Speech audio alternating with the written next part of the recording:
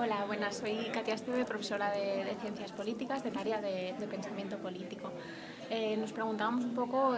qué es lo que llama especialmente a los alumnos de,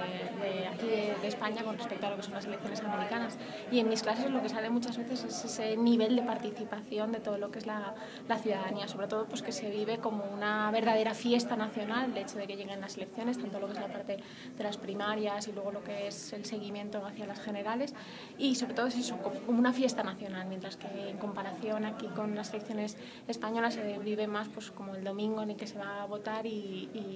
y, se ve así, básicamente, mientras que allí es un seguimiento constante y que tiene además una repercusión en los medios eh, muy grande.